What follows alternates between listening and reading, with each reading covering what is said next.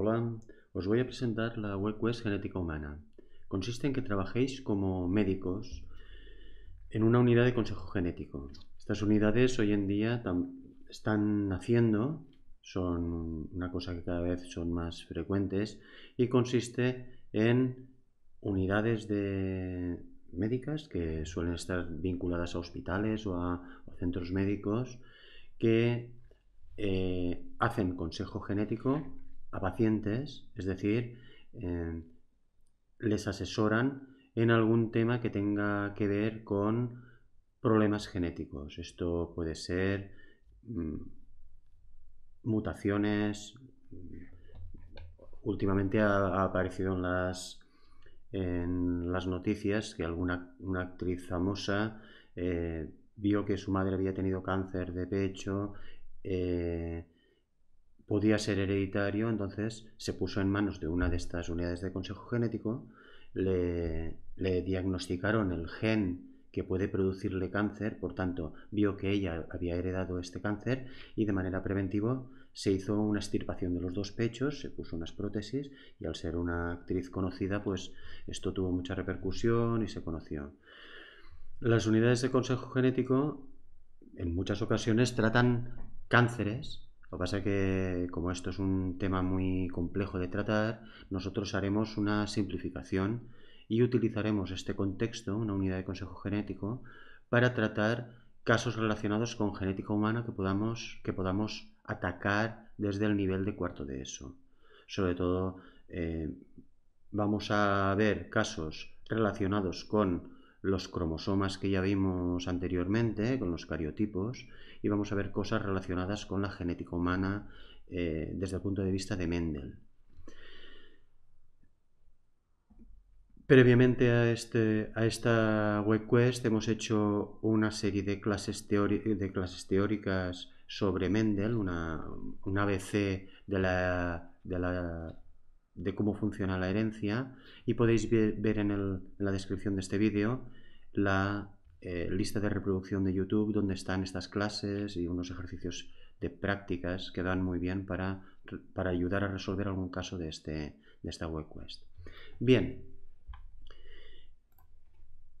Eh, aquí vemos que un, pequeño, pequeño resumen de lo que acabo de explicar. Vemos que, vais a trabajar como una, una, de estas unidades de consejo genético y en, en la sección de la tarea vamos a ver que propongo que sean grupos de tres personas como en otras ocasiones.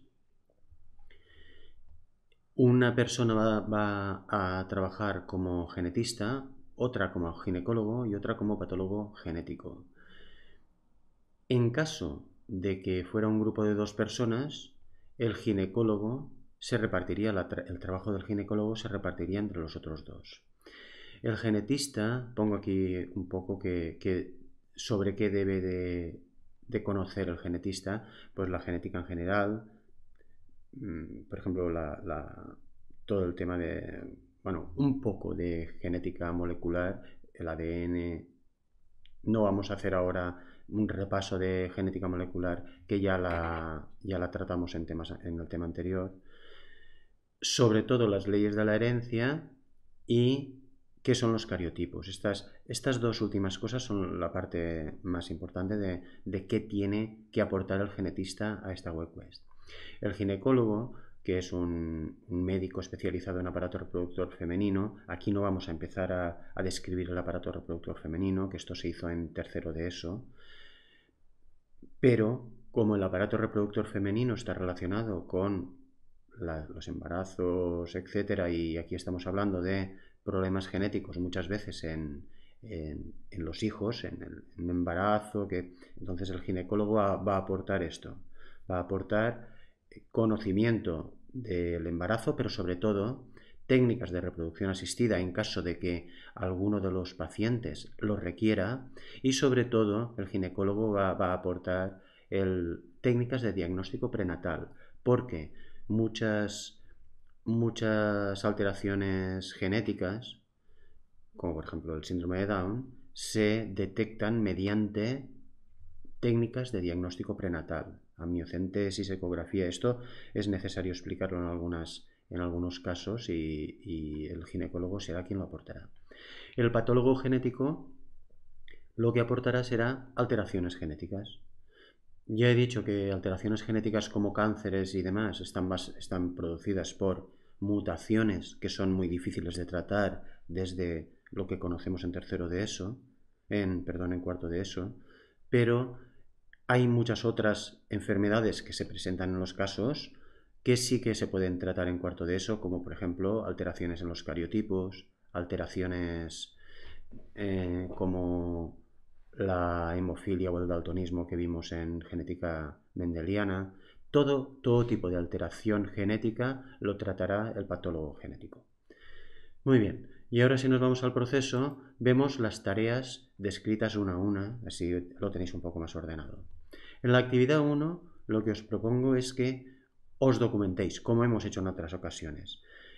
Tenemos que, eh, ya nos hemos creado una carpeta de Google Drive, dentro vamos a crear dos documentos, como en otras ocasiones, un informe escrito, donde documentaremos todo. Será el informe escrito final y el otro, la otra, el otro documento a presentar, como también en otras ocasiones, será una presentación de diapositivas de Google Drive. En esta presentación prepararéis lo que os diré al final, que será eso, una presentación de diapositivas. Inicialmente vamos a centrarnos en el documento escrito.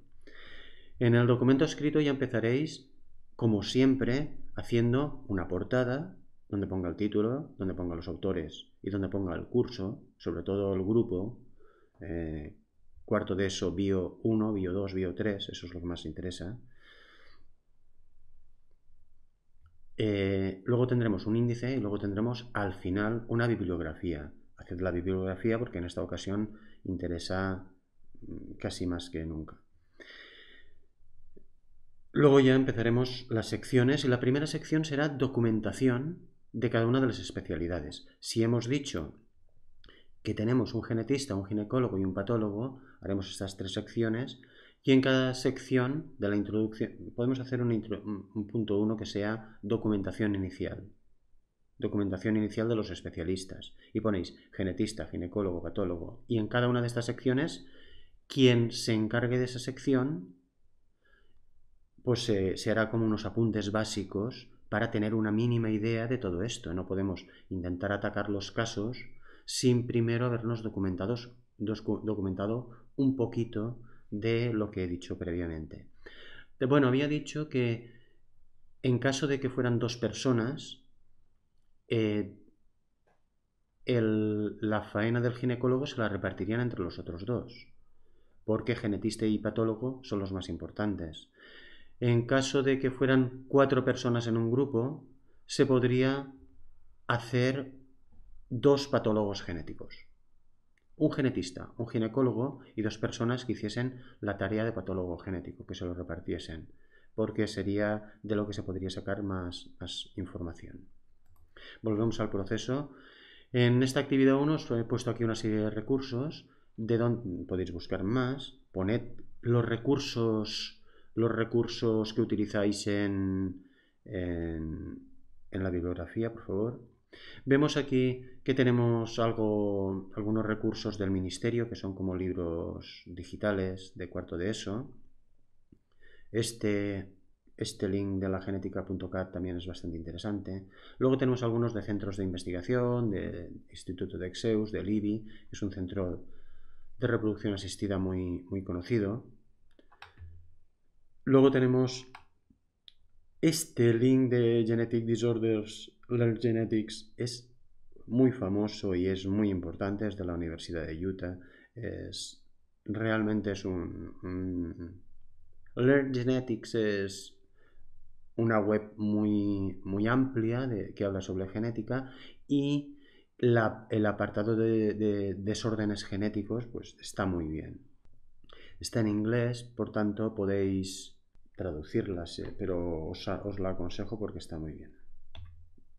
Una vez eh, nos hayamos documentado, aquí veis algunas cosas que igual inicialmente no sabéis por qué. Os pongo un poquito de eh, herencia del grupo sanguíneo y el RH. Es que tenemos, un, tenemos un, uno de los casos que nos, nos piden información sobre incompatibilidad del RH, tenemos la ley de selección de embriones porque en uno de los casos nos lo pregunta y tenemos aquí unos, unos artículos de prensa que venían a cuento con alguno de los casos también.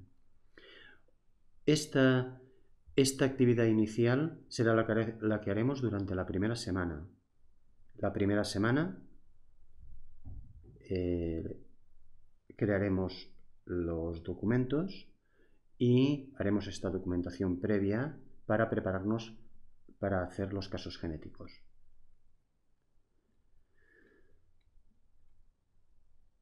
En la actividad 2, una vez, una vez ya hemos, nos hemos documentado y cada especialista tiene conocimiento mm, un poco ya eh, documentado de, su especialidad, de su, de su materia, ya podemos estudiar los casos clínicos en conjunto. Lo que haremos será verlos entre los tres miembros del grupo, si es un grupo de tres, que sería el grupo ideal, y intentaremos entre los tres miembros del grupo encarar cada uno de los casos. No nos lo repartiremos inicialmente porque no sabemos a qué especialista corresponde y de hecho la mayoría de casos no corresponden a un especialista, como ocurre en la realidad, sino que tiene que participar más de un especialista. Lo ideal sería que los casos los, los, los afrontarais entre los tres vamos arriba a ver los casos que los tenemos aquí a la izquierda. Aquí tenemos los siete casos que tenemos que tratar.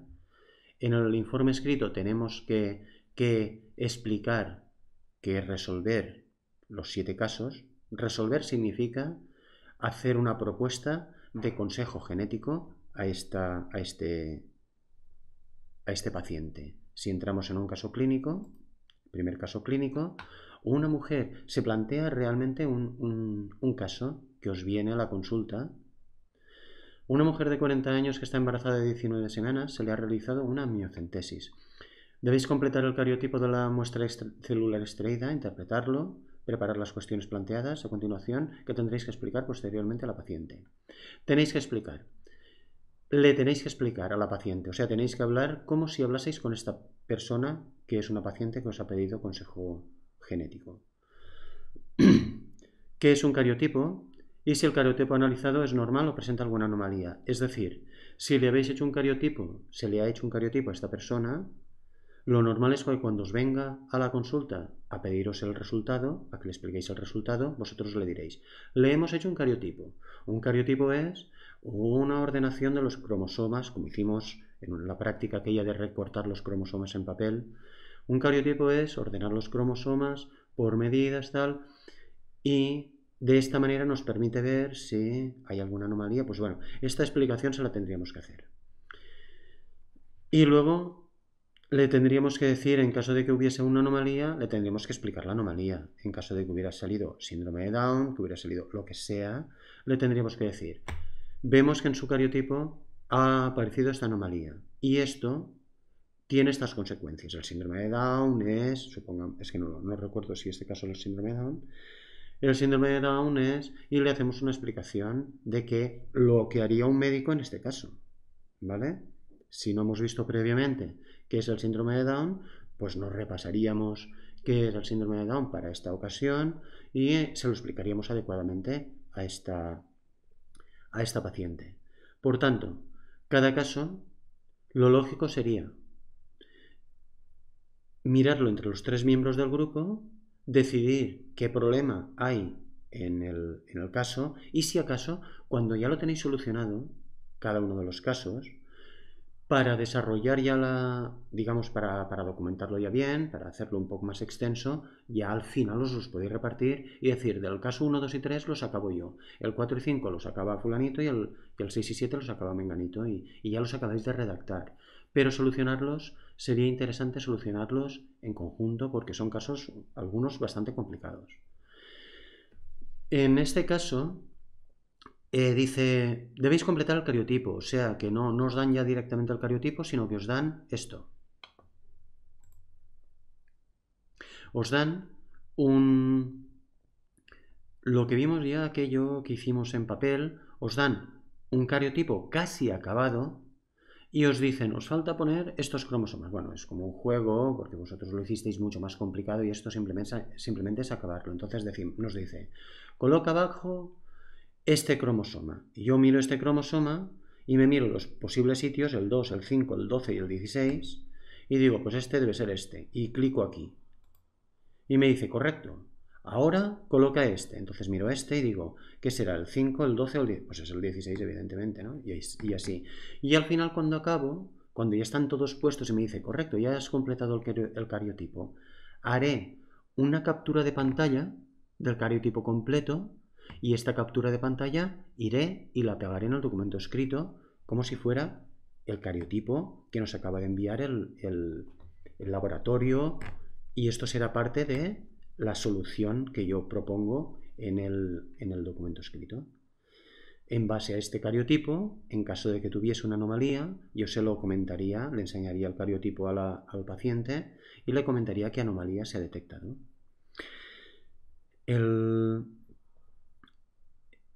He dicho que se hará una presentación de diapositivas y en la presentación de diapositivas también habría que, poner este, este cariotipo.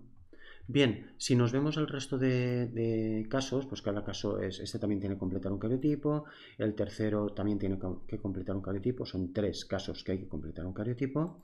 En el caso 4 ya tenemos otra cosa, que es una, elección de sexo, en una pareja que quiere ver si esto es posible. En la pareja 5 nos dan unos cariotipos que ya estaban hechos, es decir, una pareja que sus padres se habían hecho el cariotipo y ellos lo, llevan, este documento, y hacen una consulta. El caso 6 se trata de grupo sanguíneo, es un caso como lo habíamos visto en genética mendeliana, tendréis que aplicar esto aquí.